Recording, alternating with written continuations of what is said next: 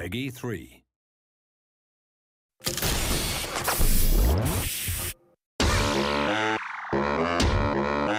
So World Tour is our social kind of connected game mode within FIFA Street.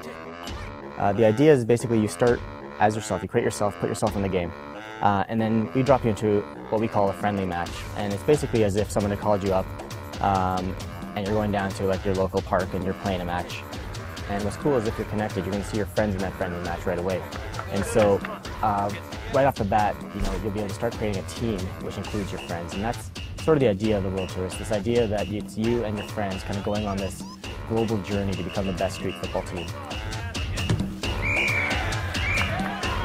Uh, so you'll start in your local area, play in different environments that may resemble ones you play in already, you know, a local park, a local gym.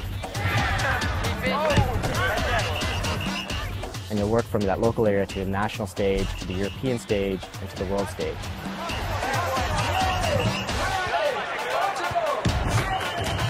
Not only are you playing uh, creative teams, but you're going to start playing street footballer teams as you progress towards the European levels, be able to compete against them in challenges, and even unlock the, uh, players for your own team.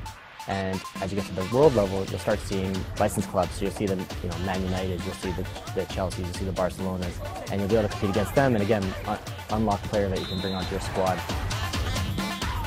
Every single challenge, every single tournament has different set of unlockables you can earn depending on the difficulty level you choose. And the idea is obviously if you play hard, you get all of them. If you play easy, you're only going to get one that's at the easy level. So it could range from uh, glasses, so like sunglasses that you can be wearing for your player, new boots, um, or just street clothing that you can put on your player.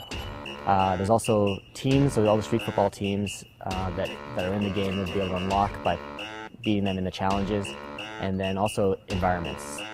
Uh, so you have this concept of kind of progression through the different levels, the number of environments. It's really, truly a, like a, a very deep um, kind of core experience that we wanted to build.